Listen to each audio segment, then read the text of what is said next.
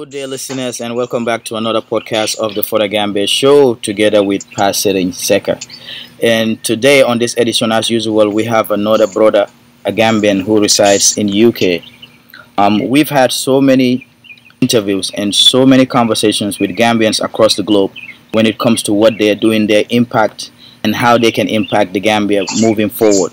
But this brother, I must say, is an inspiration not to Gambians, but an inspiration around the world.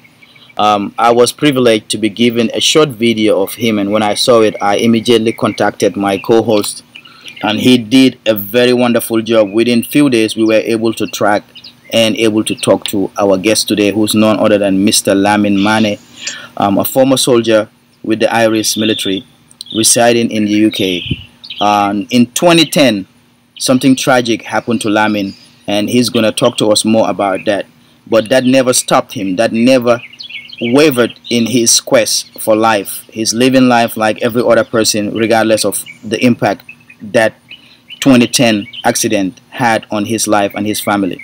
We're privileged and happy to talk with our brother, former soldier, Lamin Manneh. Lamin, welcome to the For the Gambia show. Oh, thank you very much. It's been a honor to be a part of the show. Thank you. As I alluded earlier, tell us in 2010 what happened. But before we get to that, just give us a brief introduction of who Lamin is, where you hail from in the Gambia. Uh, my name is Lamin Manneh. Gambia people normally call me Four Days. Mm-hmm. I'm from uh, a coastal town called uh, Brufut. Mm-hmm. Yeah, so ba- Banka is my un- uncle. Of, is my Banka and my mom is the same. Oh, Banka Manneh? Father. Yeah, the same father and mom. So okay. He's my uncle, so he's the one who contacted me about this, and I speak to Sering last time. Awesome. So I told him that yeah, you can give him a number. Okay. Yeah. So I grown up in Brufut, then uh-huh. and I moved to UK in 2006. Mm-hmm. So when I came to UK, then I um, joined the army in 2009. Mm-hmm. And from there, I served. And uh, during my first tour, I served with an um, reg- reg- reg- regiment called the First Irish Guard, 1st mm-hmm. Battalion, the Irish Guard. Mm-hmm.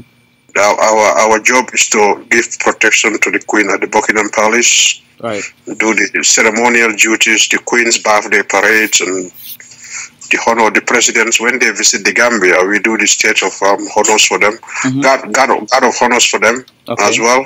Mm-hmm. So, and then 2010, our battalion is preparing to de- de- deploy to Afghanistan, which I was been chosen to be part of the delegation to go and support the Afghanistan in the rebuilding and give protection and security to the people out there. Okay. Yeah. And then as we go, I think it was uh, we went up to the mid of the tour. Mm-hmm. Some some some people might say unfortunate, but I normally call it fortunate enough for me. I was step on the ID, so that ID changed my physical structure, but it doesn't take my mind away from me, which I thank God for that. Mm-hmm. Because there are some people, when they got the accident, they lose their mind and everything. And if that happens, you become, you, you, you have to rely on people for everything. Who, who were you with on that day? And, and take us back to that day in particular. Did, did anything unusual happen or it was just a normal day for you? Uh, for me, it's just uh, because we know when you when you are in operation, you normally it's an early morning start. You normally wake up. You don't. You wake up about three or four o'clock in the morning, and mm-hmm. then you have to go for because you want to get out before before before the bad guys come out. Mm-hmm. So you want to be there as quick as early as you can. So we normally go early in the morning. It's just a normal day. I'm not feeling. I don't. I don't feel anything. It's just maybe because um, it's one of the things I don't feel like it. I just wake up for the normal day, just go on normal duties. Uh, because we've been there for three months, so yeah. Okay, uh, if you can take us back to what, what happened and how the accident occurred, and and after uh, that. okay. Mm-hmm. Carry on, my brother. Yeah, what happened was we went, we went. We are trying to. There was a day, the particular day, our our commanding officer called us the morning morning that, that, we have to go and provide some security for some, some farmers mm-hmm. who are not able to go to their farm because of the Taliban's activity around the area. So we go in there to create a post whereby we can overlook while on while they were on their farm. we can look over them. They do their their daily like uh, that's what, what every parents want to do for your kids. Go and find something where your family can survive. Mm-hmm. So we went to provide that security. And then I remember that we are sitting at a, like a tree line, you know, where there are trees around there. Right. And from there, I don't, re- I don't remember anything. I just wake up two weeks later at the hospital. So was it an IED? Was it a RPG? What happened? No, it's an, it's an ID. What they told me was an ID explosion. Okay. So it's about, I think it's gone about more than 10 meters high. I don't remember it because I don't know what happened. Yeah. I was blank out. So the words I'm telling you, that's what they told me. So, yeah. and the next so I- and the next day you woke up in a hospital. No, not, not the next day. Two, two about two weeks later, Oh wow. I was I was in coma for two weeks. Oh my god. Yeah, it's all right. Wow. So Okay, Lamin. So, um, if I was to ask you, you know, what was the motivation behind you joining the army uh, when you went to England? Was this something that you've always wanted to do as a kid? I think um, my, my motivation is when I was in Gambia, there are some former people who are our elders before who served with the Burma, the British Army before. So there are old people, old old man tell us stories about what, what they do in there, and then so I get a bit passionate about army. So that was part of my my uh, part of my objection that that's can be when I anytime I land United Kingdom, that's what I want to be part of. Because it's a family whereby if you are connect, connect, connect, connect, connect, connected to it, it give you so much personally, and you know you get so much experience in it, and, uh, and as a as a human being because it's developed, you give you so much to offer, and the best thing is you helping other people during this journey, and whereby you know I'm I'm I'm, I'm passionate about helping people. I'm part of a, a group for which they know that they are doing something good for people.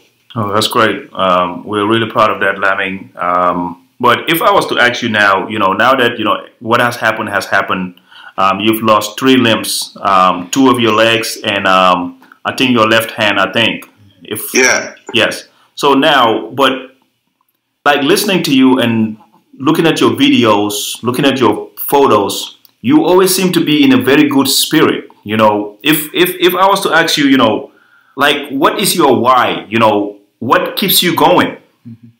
I think for the first time, because for the first time when I realized, when I wake up at the hospital, because my wife was sitting beside me, and she told me that you lose your legs and your hand. I told him, you are lying. How can I lose my leg?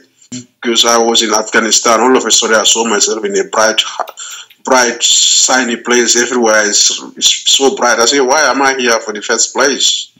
That was difficult though, because that's the time you realize that you were running maybe two weeks ago, all of a sudden you just confined in one place and you wonder why you're there. That's hard to deal with. But we, the Gambian, we got something which is very special, but sometimes people get something they don't appreciate it. But we Gambian, we God gave us the strength. That's for me personally. What helped me was my um, family support is very important, and that's um, we believe we the Gambia we have the belief that as a religion Gambia is a religious country and that religious teachings if you follow it whether you are a Christian or a Muslim, you all have a guide religious um, spirit, spirit, spiritual belief which guide our actions. And if you get that belief and no matter how difficult you find yourself in if you get that as your as your reference points with the help of Allah then you can get through anything and that's how I deal with mine Yeah, but um, you've decided to change your mindset. You know, you decide not to be the victim anymore. So, like, other than yourself and your family, are there any outside influences that, like, kind of make you be this resilient like you are right now? I think the resilience depends on the self determination because sometimes there's like the the the, the kind of like because this happened to me in a uh, Western country like in United Kingdom, and whereby they get a first class treatment, you know, where the point of injury because if it is happened somewhere else, like we see people happen in a car accident, which might not be even serious than mine, but because of the necessary supports available, they are not able to pull through it. For us, we've been happy to serving in the best military in the world and then get the facilities available. that helps you. That support network help you go through anything. And if you pass that stage, you come to your own self. I think you have to get your self determination and believe that if something happens to you, it doesn't mean that that that's that should define who you are. I think you as an individual should be your own statement, and that you, your own statement depends on how you see life. And and I saw your video, a very short video of yours earlier, um, involved in a sporting competition. It was an event. Uh, what event was that? I was playing. I was sitting volleyball. Okay. Now, prior to your accident, um, were you involved in any kind of sporting activity? Yeah, I play football. I love football, and I play stand, stand, standing volleyball. Okay. Okay, I mean here. And I was I was part of the foot sport committee before, so I was involved in the sport very well. Huh. Okay, I mean, we here in the United States, we call football something else. So, Soccer. Yeah, you play soccer, yeah. so, so you play soccer. So, um, It's a it's a pity it's a pity you take a handball for football. I know, right? telling you. yeah, but that's the American way. So, yeah, um, they need to define they need to define the hand. They, they need they need to go back to the dictionary and define it. True, true. so I guess uh, you were referring to the Invictus Games, um, which you participated, I think, in 2006 and 2007, if I'm not right, if I'm not wrong. Yeah. So, uh, No, the, Invictus, the Invictus game was 2016 and 17. 2016 and 17, sorry. Um, Yeah, yeah. And we've seen that you've won a couple of medals. Some of them were gold. Um, you had a silver and you had a bronze. Bronze, mhm. And I think you participated in the uh, sitting volleyball and the shot put and the rowing. Yeah. Yeah. Yeah. So what can you tell us about these things? Like, just like my friend over here asked you uh, whether you were involved in any sports. Was it after the accident that you that you uh, picked up all of these sports? Yeah, these sports I'm doing now, I picked up that sport after the during my rehabilitation. Because where here, like when you got accident, the, the Ministry of Defense got a place where they send you for rehabilitation. And during the re- rehabilitation process, they introduce you to different sporting facility because sport is a very, very, very powerful tool for you to get back to yourself. It gives you good, you know, you know your well-being. It helps you mentally and physically. Yeah, that's what I want. That's that's that's what I wanted to ask you. Like winning these gold medals, I mean, and participating in such a big stage. How did that help you in your transition mentally? I think the, the most important thing for us for the Invictus game is that Invictus game is about because we see people who went through trauma, both physically or mentally. They are even diff- they're even scared to come out and demonstrate who they are to show what they can do. So for us, Invictus game is about it's not the medal is just a bonus for me. That's what I tell people.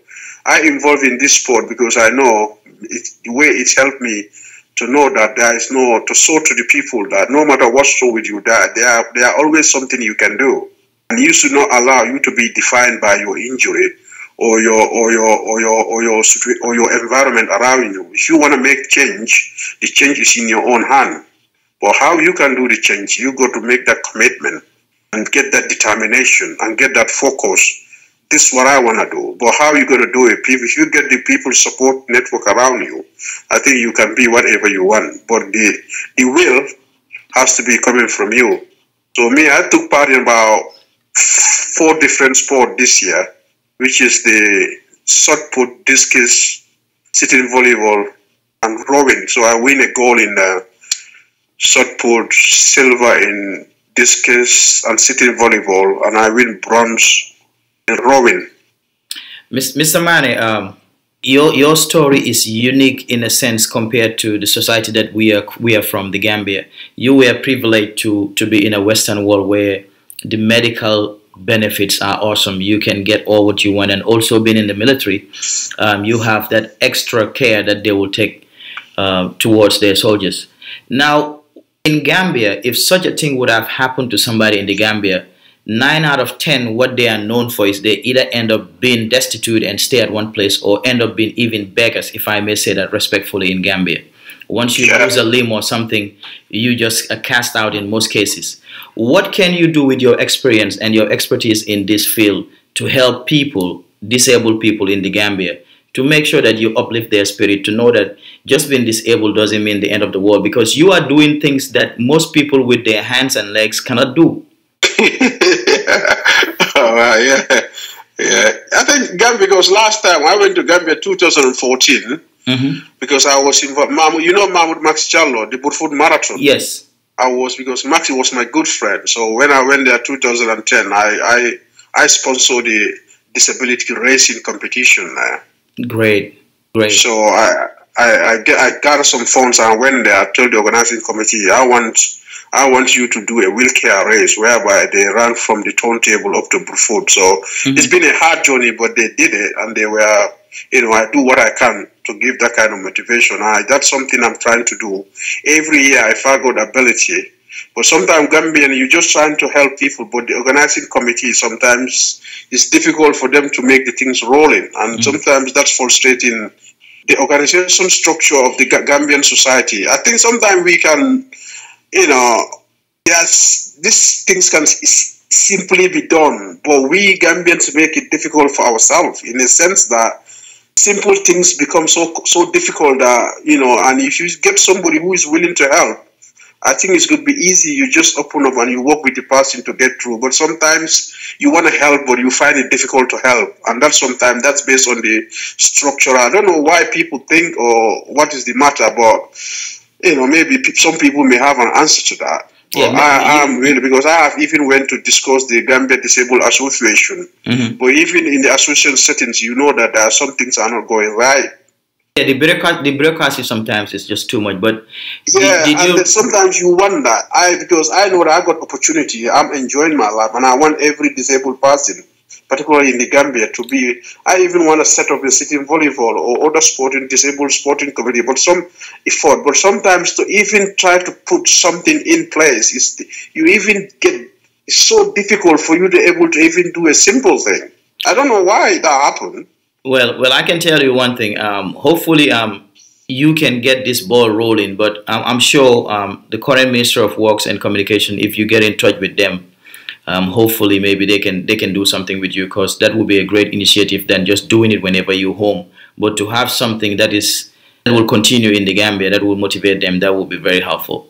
Yeah, because I even tried to meet with the disabled association just to try, but you know, even meeting with them when you go to the meeting, sometimes you know, because, like if you are, maybe some people might misunderstand. If you are in a Western country and you you work in a different organization and you know how the organizations operate, we know every organi- every country got your culture operation, but the or how you want to run the things should be very you know, to be reliable, honest, transparent, be on time, and do say what you want to do. Do be honest to each other in a kind of way whereby no there will be no finger point. But sometimes when you want to bring things together, sometimes people can be funny though. Yeah, that's right. Um, but but now since we have a new government now, I mean, um, are you uh, hopeful in, in in any way that you can work with them this time around and try to make a difference? Of, of, obviously, because I'm trying to gather some some equipment for myself because I I love I wish I wish I, I love to be in Gambia every time I want. It's just because when the temperature is so warm, so I, I can't wear my prosthetic legs, so that make it difficult. I normally go there from January, from maybe from November, October, December, up to about March. Spend four months there, and I I sport. I, I love sport, and sport something I I, I want to do. And I want to find a place where when I go, I could be able to carry doing my sport events because if if sport helps me, I know it can help many other people. And for me, sport is the only way I can demonstrate. For me, what I see, I can demonstrate myself, have my freedom, exercise myself, who I am, without nobody telling me, do that. Can I help you that? Can I not help you that? Because I don't want people to tell me, can I? I want people to help me, but I want you to help me on my own time. So in other not to words, sit down, not to sit down and say, "Oh, give me that, give me that." Even I'm gonna crawl to get it. I'll prefer to try it than just tell you to give it to me. so in And I want words, every Gambian disabled to have that mindset. that's right. So in other words, you don't want people to be feeling sorry for you. No, I don't want that. If you feel sorry, I, next time if you see me, I don't want to see you again That's right. because I want you to treat me like a person like you are. That's right. I know I have different. I have maybe I don't got legs, I don't got hand, but I got my mind. Maybe I've seen people who got everything, but they're still on their beds. They don't want to even get up from the bed. That's right. That's right. I don't want to be that. I want to be somebody who. That's why I'll try. I find a job, provide for my family, be like a be like a father, and do my job as a parent. You know, reliable, because I want to set example to my kids that I can sit there without not going to work and give everything to my kids. But for me, that's not the way to brought a child. Your child should understand that any money comes home, there are somewhere you went to where you were to get it. And yeah. that's why I try to find a try to work, go to work, find a job, go home, go to work every day, bring something involved in sport, travel around the world doing something I like. They know that life, nothing's come cheap. You got to do something to get something out of it. Amen and to that's that. why I want everybody to see it that way. Amen to that. Um, I think we will have a link of your video uh, attached with this interview on our site. But if there is one thing, Lamin, you can tell us, because looking at your video, I, I, don't see anything that you cannot do. I'm, I'm, I'm, I'm, I'm just being I'm just being frank. So, is there anything anything as an individual right now, since you had this accident and lost two of your legs and one arm, one thing that you miss doing most that you still can do? Uh, sometimes, like maybe you wanna get up and do things on the right time. You know, you wanna just get up and run, and uh, because I like to run. Like when you serve in the military, you do about 10k, 10k meter in about less than two hours. You mm. run so many distance. You just, you know, you do you you enjoy life a bit more. You know, but for me, I have no regret in my life because I was doing something for people who are like one who are like me. So for me, that's even something for me I will never even regret in my life because I put my life on the line for people who first they are human beings, second they are Muslims like me. Mm-hmm. And for me, serving the people who are less unfortunate, that's for me. For me, that's that's what I call a jihad. Yeah. You know, you're doing something for people who don't who cannot do it for themselves. And since after your accident in 2010, have you ever been um, to Afghanistan again? No, no, not yet. No do you plan on going back there to to to, to revisit or you don't want to go there to see where this actual thing that changed your life happened? Oh, yeah, i don't mind to do it. I don't mind to do it but you know government the military doesn't operate like i don't mind to do it but based on certain because the the environment is not conducive yet the place is very warm. Mm-hmm. when it's um and when it's cold it's very cold. And the and the top and the, the grounds and other things is going to be maybe the military because that's very that will be very uh, very costly to do at the moment. But you never know when things get better. Because I got good friends in Afghanistan. When when I was there, the imam, like the, the, the military guys we working with, when I'm in my tent, they call me every day. Let's have come on now. When prayer time comes, they come and get me. When they're having their lunch, they come and get me. So we just like brothers. Hmm. Yeah, because they thought I'm a Muslim, they are Muslim, so they are even more close to me. They come and call me anytime they don't see me. Where's Lamin? Go and get Lamin, come here, come here, let's have it. So they always take me like one of them. Oh, that's nice. So that's... I really enjoy. I really enjoy my stay there. So. Yeah, that's nice. Uh, one thing about uh, the military is Nobody orders you to do it, and if you don't do it, nobody is going to fault you for not doing it. Mm. But no. Now the big question is, Lamin, everything has happened now. Your life has changed. If you were to be given another life, will you do the same thing again? Oh, why not? Why? I'll do. I'll do even more than that. Why will you do it? Because I, I know what I know what my service provide for that people there. I've seen people who call Muslims like they're 15 years old they can't even read Surah Al-Fatiha. Mm-hmm. And they are living in that community. And they are proud to be Muslims because they don't have access to it. For example, you and me now, our kids go to school the way they want. Mm-hmm. They eat whatever they want. But those people, they don't have that. Mm-hmm. And it's because of they don't want to get. They want to get it, but there are people when you do it, they destroy it. If you take your if you take your child to school, maybe or your brother or one of your your your your, your uncle go, oh, take, why do you take your kids to school? what they're doing is wrong. I think you will find with that. You prefer that, that man to kill or you kill him than allow him to do that to your child.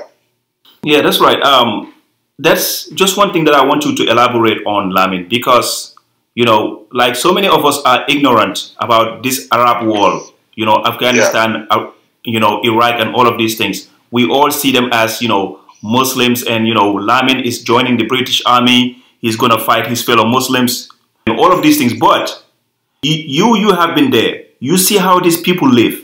What kind of Islam are these people living that is different from ours? And what will you say to, to, to, to, to some of these, these people out there saying that why would Lamin go and fight his fellow Muslims? Are these people really Muslims? Because I think because like if you go to it's a bit because the Prophet sallallahu alaihi wasallam said it. There'll be a time in Islam Ummah the section will be divided into about seventy something sections. Mm-hmm. But among that seventy-seven section, how many how many of them will be true? It's only one section who's going to be a true Muslim. The Afghanistan, the problem is the Taliban. The Taliban wants to make people ignorant of anything. Even Quran, they don't teach people on Quran. Because we we the, we the British Army, when we go, or the NATO forces, when they go there, we build schools. We provide what clean water for people. We give them that. But when we build school, the next day you go, when you don't got a protection in the school, when you go there, the next day the school is on the ground. You will never even see that a school was built there before. And that's for every child or every parent or every human being. The first thing you want education. Education enlighten you because I witnessed it firsthand.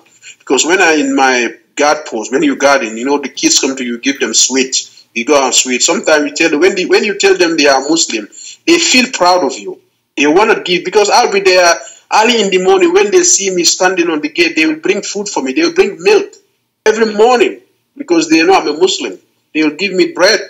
But that shows that they embrace Muslim. But the problem we got is they know what is Muslim is, but they don't.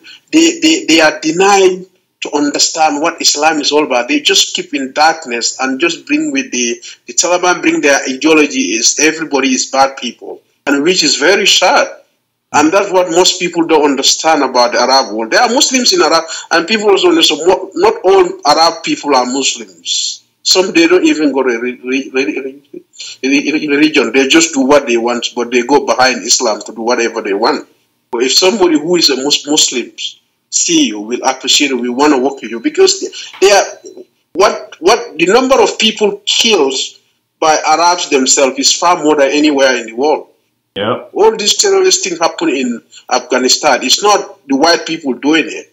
It's the Arabs doing to its own. The Taliban Taliban people are doing to their own people. And the people they are killing, who are those people? Wow. My, my first job, our first job during this operation was because we the we the because people don't know what army operates. Army's operation is you don't just go take a weapon and kill somebody. If you kill somebody for no reason, you go to prison. You go to court martial for that. You only kill people when your life is at risk. Mm-hmm. But even like, for example, sharing me and you, we are sitting down, and then uh, my other brother is standing down, and then somebody take a gun and shoot me, and I'm dead, and he put his weapon down. He run away. You people are not supposed to kill him. You can you can get him, but you're not supposed to kill him because your life are not in danger anymore. Mm. Wow. So people, because people, it's just about if people are ignorant of something. Sometimes you don't you don't blame people because they don't know, and the problem is people don't know, they don't ask, and they started to take sides, and that's what's bringing problem in this world. Wow. As a Muslim, Afghanistan people prefer Muslim to go to Afghanistan and help them far more than anything else. If all Muslim countries come together, maybe all this war might be stopped now. But we Muslim, what are we doing? We're not doing anything. That's right. We're not doing anything. If you want to help your fellow Muslim, you need them to be enlightened. Give them opportunity like you are living with your fa- family. What are you doing? Do with your family. You allow other Muslims to have the same, the same, the same enjoyment with their family. But we Muslims, some are having living in a nice world. Some people they don't even have chance to go to school. They even go to that. They can't even read even one surah. In fact, they can't even read it. But they are proud to be Muslims because they, nobody gave them that opportunity. That's what the NATO is giving to these people. That's why I told many people the best thing people could do is let them take few Muslims around the world, take them to Afghanistan, let them see for themselves. I think if, if Muslims see that, they will have, they will come with a different thing.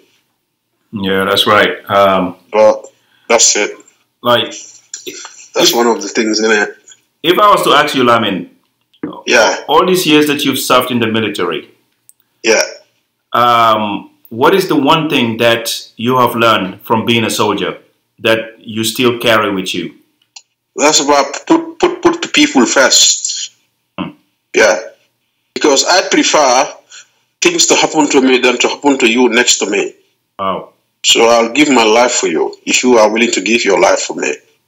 Wow.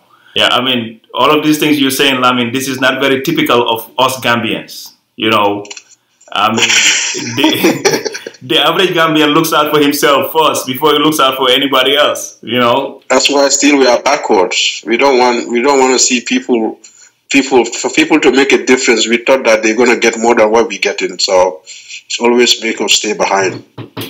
So, Yeah. Now, now, how long have you been in the UK, Lamin? now I'm gonna be in the UK now. It's gonna be 11 years now. Okay. And and what what kind of a family do you have? Um, you have kids there. Your wife still lives I've with got you. five kids. Mhm. I've got three boys, two girls, and my wife. Awesome. So you have a good support base, of course. Yeah, I got a good because I got um because I'm living in a street which is done by the there's a program they do in in UK called the DIY SOS. I don't know whether you heard of it. No, what's that? That program is about what they do is um there's a guy called they do a TV show in BBC. Mm-hmm. What they do, you know, they will take a like um they will assess you, they'll check your house, and if you know that the house is not suitable for you, Mhm. and they will redo the house, they will get a house for you and redo it and put your needs, anything you need for us based on your disability, they put that there in the house. Awesome. So they, I did that program with BBC in 2015. Hmm. You can find that on YouTube. Yeah, I think I saw that video. Awesome. Um, but how right um, right now, Lamin, now people will start wondering, okay, how about your livelihood? You know, like how do you make money to support your family? Are you being supported by the British government, or does Lamin get up every day and go find for him, like for his family? No, I, I like because the British Army, what they got, there's a compens- there's a system they put in place. When you get injured in the army, you get your pay, your your army, your your monthly salary for the rest of your life. oh, good. You get paid for the rest of your life, and there is an organizations. When you need support, you go to them. They'll they'll give you the support, but you know you have to request for the support. And I've been working for the last. Um, I started working for the last last year, but the company I was working with they moved to a different city. So then I was preparing for the Invictus game. Then I stopped. I stopped the job. So, well, you know, I'm just trying to recover, and I'm doing a degree in um, combined social sciences. So I will finish that in 2019 Great. hopefully then you know i'm just i just want to live like a normal person Yeah. You know i can get that's why i said i can sit down without working. I will feed my family. Yeah. and i can help my my father my parents back in gambia but i don't want to show that to my kids. Yeah, that's right. i can be indoors every day without even moving an inch and got what- everything i want but i don't want to i don't want to show that picture. That's not what i want to see to my kids to learn from it. They will get what they but i want them to know that that is going to work. And when you go to work you get money. And i want them to understand that work brings money I mean, man, La, la, la, I mean, your story is inspiring, I and, mean- and, and your your sense of um, humor it's still there intact, and sense of responsibility. So um, I, I think you can do a lot, not only in UK and around the world, as you have inspired many already. But I will humbly and personally urge you to just do everything you can to help people disabled back home in the Gambia. I, I think with your experience, you can do a lot. yeah that's what i'm trying to do i'm trying to get some um, some sitting volleyball some sporting gears and then go with them and see meet the meet the disability association again and see what they're going to come up because as i say sometimes it can be frustrating though you know it can be frustrating and very sad If, Uh, you know. if just one Yeah. individual is listening right now who is disabled, whether it's Gambia, UK, America here, who is finding it hard even to move, what's your message to him or her? One message is um, just assess yourself. Have a self belief that life don't don't don't don't allow your injury or your sickness or your or any kind of difficulty because sometimes people don't need to be sick or need to be disabled to be in a difficult situation. Anybody can be in that situation, but don't don't allow that to define who you are. You you own your own. As we say the Invictus, you are the cap, you are the master of your forgot the term even uh, the captain of your soul, the master of your fate. Mhm. So your your life is in your hand, and try to anything when you're going through any kind of thing, find somebody you can rely, you can talk to, and share your story with, and you get people around you to feel. Just be yourself. You know, don't say that. Oh, I got this. I didn't got this. What am I gonna do? What am I gonna? Because if you sit there and feel sorry for yourself before you realize, you, you, you rea- realize it, it's gone. Time is time is never gonna wait for you. But what can wait for you is anything comes to your mind, you thought that if you do that, it's going to make a difference to you or to somebody. Just just do it. You know, people will learn from it, and there are people who will who are willing to help no matter where you are, and they'll be willing to help. But don't just don't be don't sit down and feel sorry for yourself. That'll be a big waste. Just try, do something, do something. No matter how little it is, just do something. Mr. You know that Gambia can be hard though. Gambia is um, the situation there is completely different from the Western world. But still now, still now, we we the disabled sometimes you imagine because you can't even get the basic necessary things to help you even to get around, Mhm, which can be sometimes very frustrating. mhm. But that one, the government has to step in. Let's create. Let's let's let's let's give people have their, their dignity. movement, People yeah, need their dignity. dignity. Yes. Even government, just little things. Yeah. Like when, for example, when you go to Serekunda Market, where disabled goes, provide a decent disabled toilet. Any disabled come to Serekunda can go there without not making himself dirty. Hmm. Just sim- simple, simple things can make a big difference about disability people living in Gambia. But if you just tell the Gambian disability people is just sitting down and collecting money, and that's because that's how we see them, and that's how we always going to see them. That's what make it like they got to be in a like in a, in a kind of a bubble. Nobody give them respect because they are looking. They're always begging. We see in the Western country, people they don't disabled disabled people don't beg. It's mm. the able people who go on the street to beg. Yes. Yep. Right. That's what happened in this in the Western world because what the West the Western world's created is they give every your dignity is, is, is a priority for every institution or every every county or every district you live in. They make sure that they provide at least the basic things for you to have your dignity. A human being, if you don't got your dignity, you have nothing. That's right. And that's what the governments and the people, like uh, the councils, KMC, Banjul City Council, that's what they have to look into. You know, let the social welfare create something. Work with people who understand what disability dignity is all about. Because if somebody got his dignity, dressed up by himself, do everything, he will he will be motivated to go and do something. If somebody cannot even dress because he doesn't got a proper bathroom in his house, what do you expect him to do? That's that's a, that's a good point, Lamin. Uh, Mr. Manneh, uh, Mr. can't do Manneh, nothing. Mr. Manneh, thank you so much for, for sharing your story. Uh, you're an inspiration to the world, and you will be an inspiration to so many Gambians, especially disabled and the able-bodied people. Um, I'm honored to have this conversation with you, and, and we can't thank you enough for giving us this opportunity to tell your story, uh, at least a little bit of your story for the world to know how inspiring you are. And proud to call you also a Gambian brother. Um, and I wish you nothing but the very best with you and your family. Thank you very much. So, Lamin, um, I we've heard your story. You know, we've seen how strong you are, Mhm. but I mean, I'm sure there are some challenges too. You know, not everything is perfect. You know, like how do you deal with some of these challenges that you face every day? I think everyday challenges, that's all this. For me, I, because like you cannot say that nobody got challenges. Everybody got challenges. Yes. But for me, the challenges I got is about, you know, sometimes you just, when you see, you reflect certain things. Sometimes your mind goes into your olden days, Yes.